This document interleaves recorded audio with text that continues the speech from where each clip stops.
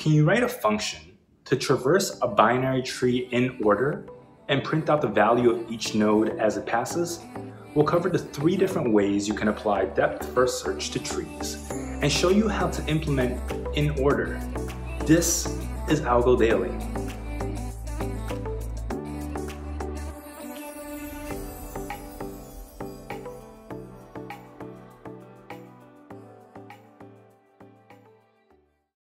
In order to properly use binary trees during a technical interview, you're going to want to really understand how to properly traverse it for your specific needs in solving the problem. And we know that there's two very high level ways to traverse a tree. Um, in this case, the one in front of us is a binary tree. There's depth first traversal and breadth first traversal. So with depth first traversal, otherwise known as DFS, you're trying to go as deep as possible, typically, when you traverse and go through the nodes of a tree. And your overwhelming imperative is to go deep before you go broad. Whereas with breadth first traversal, you're typically going row by row, level by level when you traverse the nodes. Both have their pros and cons, but it's important to know which one to use in each specific use case and what the pros and cons are.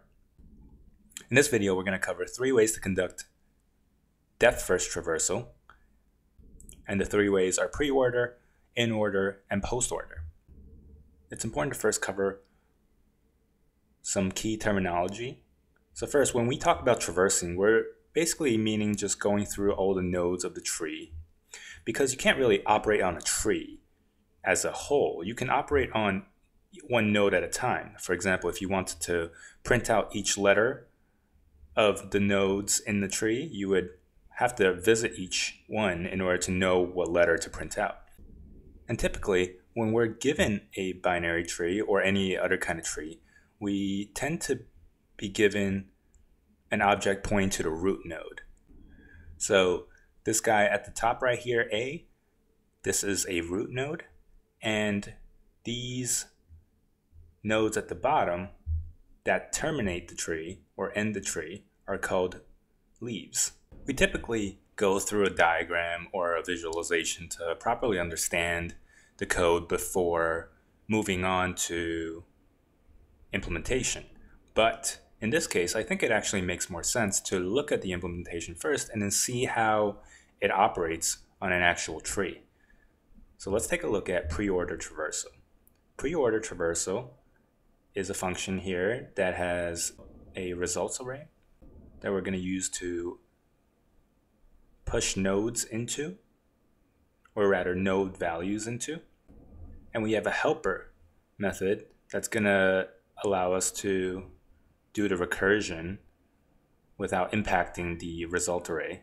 So the primary operation we're concerned with is the act of pushing the node we're on to the results array. So as you can imagine, when we do a pre-order traversal, the reason it's called pre is because the operation comes before going to the left node or the right node. So it's pre traversing of the children. So here we have a diagram of how pre-order traversal works. We start at the root node and we operate on A first.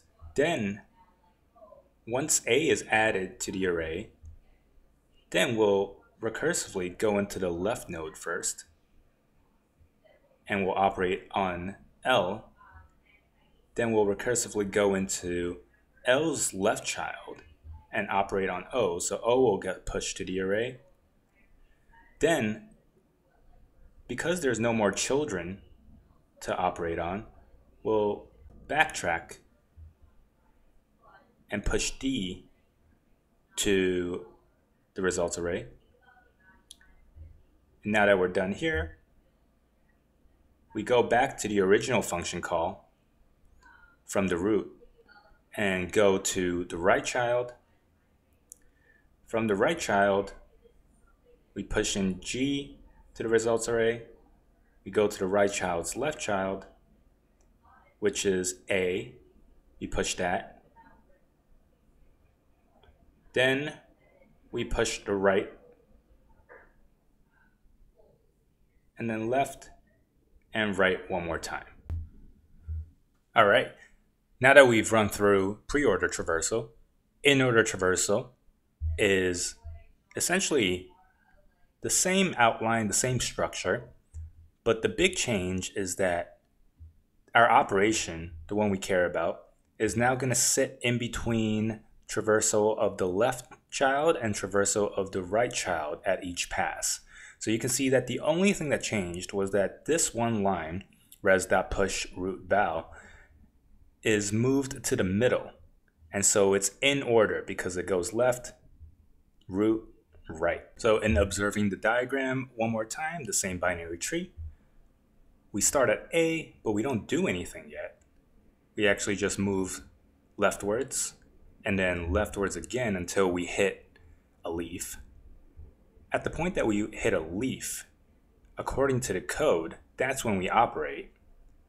And so we've recursed enough where we'll push O in, and then we'll backtrack. We'll push L in, and then we'll push D. So notice in this tree, we're pushing in order as well. So O, L, D.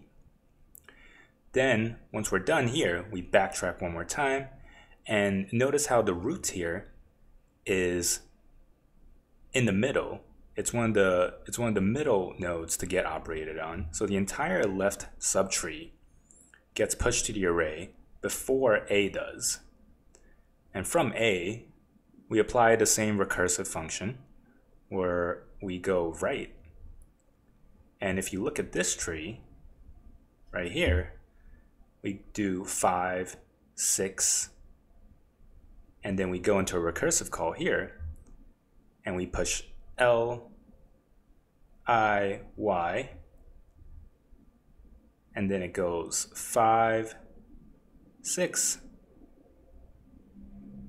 7, 8, 9. Post-order traversal will similarly have the same structure, and the difference is the operation now falls at the very end. So it happens after all the traversing of the left and right children, and we don't push the root node until the very end. If we look at the diagram for post-order traversal, we again will be given A, we'll start there and we'll keep going leftwards, but this time, instead of going in order where we went left, root, right, we do left, right, root. And notice how the tree's general root or global root is the last node to be operated on. We push O, then we push D, then we backtrack to L. And then this entire left side has been completed, but we do the entire right subtree as well before moving on to A. So from here, we do G's two left children first. So A, then we go to I, we do its two children first. A, L, Y, then we return to I, then we return to G, and finally we operate on A.